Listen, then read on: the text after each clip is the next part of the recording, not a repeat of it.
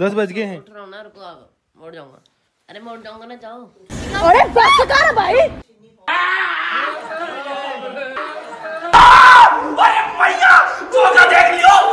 अरे अम्मा को डालो अम्मा को। अम्मा लगेगी भूतनी। रियल भूतनी तो अम्मा लग रही है। क्या बात है सर? क्या बात है सर? कि हमारे घर में जो खाना बनता है ना बिल्कुल फीका होता है। बिल्कुल भी चटपटा नहीं होता। बस हवा निकल गई।